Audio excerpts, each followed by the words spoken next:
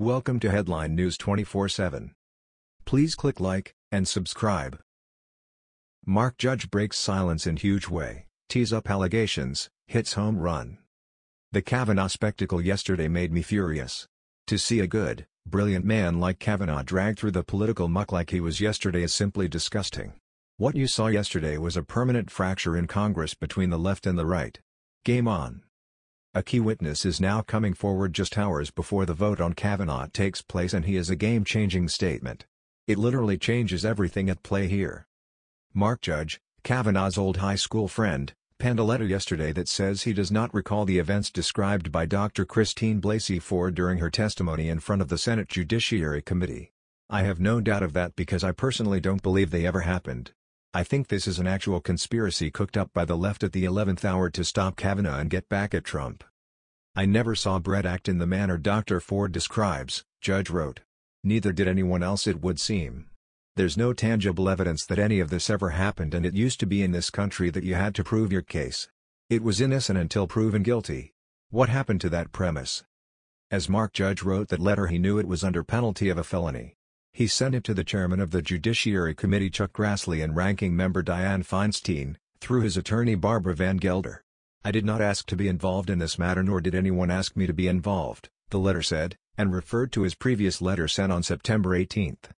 Judge didn't want to be involved, but he also could not in good conscience just stand by and watch an honorable man like Brett Kavanaugh be destroyed by the left like this. The letter was released hours before members of the Judiciary Committee are set to vote on Kavanaugh's nomination. The actual vote is expected to take place at about 10.30 a.m. ET. A successful committee vote is not essential to send a nomination to the floor. Judge's lawyer, Barbara Van Gelder, stated on Thursday that he does not want to comment about these events publicly and will not respond to any media inquiries. Judge is willing to answer written questions, and he has. In addition, he is willing to participate in a confidential, fact-finding investigation. Understandably, he does not want to expose himself and his family to harassment and interrogation over this. As a recovering alcoholic and a cancer survivor, I have struggled with depression and anxiety, Judge's letter said. As a result, I avoid public speaking. His attorney says that Judge needs to stay out of the spotlight for his health. I told him to leave town. He is being hounded. He is a recovering alcoholic and is under unbelievable stress, Judge's attorney told the media. He needed for his own health to get out of this toxic environment and take care of himself. Judge did make it clear in his letter that though he and Kavanaugh were friends in high school, they have not seen or spoken to each other directly in years. They obviously went their separate ways to lead their lives.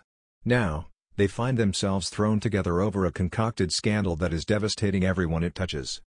From Fox News Ford claimed Kavanaugh pinned her to a bed during a party in Maryland, attempted to remove her clothes and put his hand over her mouth to prevent her from screaming. She said he and Judge had also turned the music up to a loud volume. Ford claimed she was able to escape to a bathroom and then outside of the house when Judge jumped into the fray and sent everyone in the room tumbling. Senator Patrick Leahy, Democrat Vermont, asked Kavanaugh during the hearing if he was one of the characters, Bart O'Kavanaugh, in Judge's book called Wasted, Tales of a Gen X Drunk, which was written in 1997. Kavanaugh said the book is a work of fiction and Leahy would have to ask him, Judge. Judge has become an author, filmmaker, and journalist who has written for conservative outlets including the Daily Caller and the Weekly Standard, according to reports. This will now hinge on several key swing vote senators who remained outwardly undecided on Kavanaugh's fate late Thursday. After the hearing, moderate Senators Susan Collins, Army, and Lisa Murkowski, RAK, as well as Senators Joe Manchin, DWV, and Jeff Flake, ROZ, huddled to discuss the nomination, Fox News confirmed.